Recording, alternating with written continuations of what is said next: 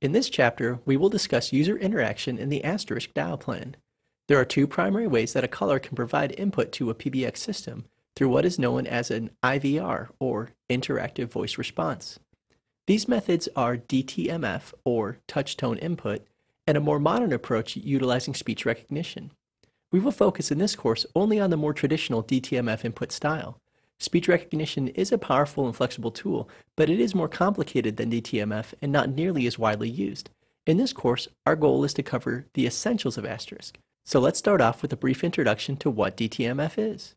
Half a century ago, before DTMF was available, dial digits were signaled to the phone company using a system called pulse dialing.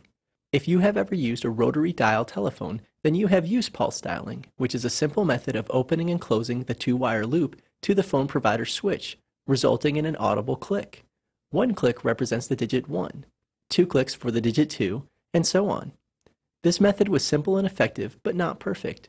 Among its problems was that it was susceptible to degradation over long distances. In the second half of the 20th century, DTMF replaced pulse dialing as the method of choice. However, Asterisk and most telephone equipment still supports pulse dialing for backwards compatibility. DTMF was created at AT&T with the intent to provide more reliable signaling where signal noise or attenuation made pulse dialing problematic. It was also a goal to provide extensibility for future use in interfacing with other technologies. DTMF stands for Dual Tone Multi-Frequency. Each digit on a standard telephone keypad is represented by a combination of two unique tones, one from the column on the left and another from the row at the top. These frequencies were carefully chosen to minimize the likelihood of confusing one tone with another.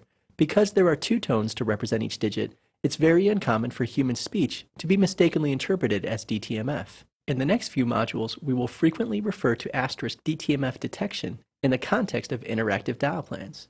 Specifically, we will highlight key dial plan applications that are essential in this regard, such as background and WaitExten, as well as a number of other applications that an Asterisk administrator will use when scripting IVR functionality in the Asterisk dial plan.